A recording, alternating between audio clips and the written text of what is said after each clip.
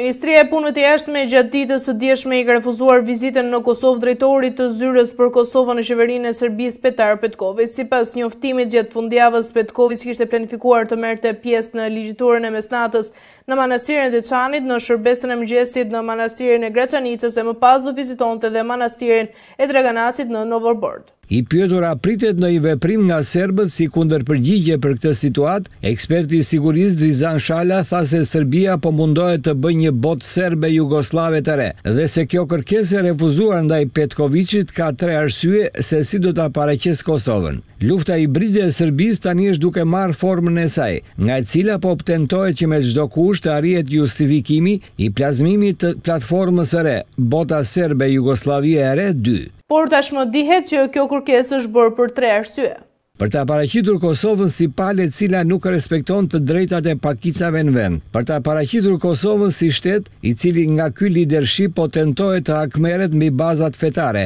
duke mohuar pjesëmarrjen në këtë festë ortodokse. Dhe tre, për të rritur sentimentin brenda serbëve në Kosovë, por dhe në Sërbi, për të pranuar çdo formë të veprimit nga Sërbia në drejtim të Kosovës, Edhe me forcë ushtarake, deklaroi Shala duke shtuar dhe se duhet një koordinim i vazhdueshëm i Kosovës me ndërkombëtarët. Pra ne duhet të jemi të kujdesshëm në marrjen e hapave në kohën që po kalon Kosova, sepse nuk ia vlen që të atakohemi siguria e brendshme e Kosovës me rrugën e drejtë dhe legjitime të nisur nga institucionet tona, por kjo të bëhet në koordinim me SHBA-në dhe Britaninë e Madhe si dhe Gjermaninë, ka theksuar më tej eksperti. Gjithashtu Shala përmendi dy procese që tregojnë që lufta hibride e Serbisë është e fokusuar mbi Kosovën. Pas festës së Pashkëve Ortodokse, do të kemi rritjen e kësaj lufte si dhe propagandë për të arsyetuar retorikën nacionaliste dhe argumentuar pozicionimin e personave të Listës së Zezë të Shteteve të Bashkuara që vetëm kështu, duke mos dëgjuar Perëndimin ne mundemi të mbrojmë tokat tona të shenjta, që ato i referon jo vetëm Kosovës po dhe Malit të Zi, Maqedonisë së Veriut dhe Bosnje Hercegovinës, deklaroi eksperti Shala.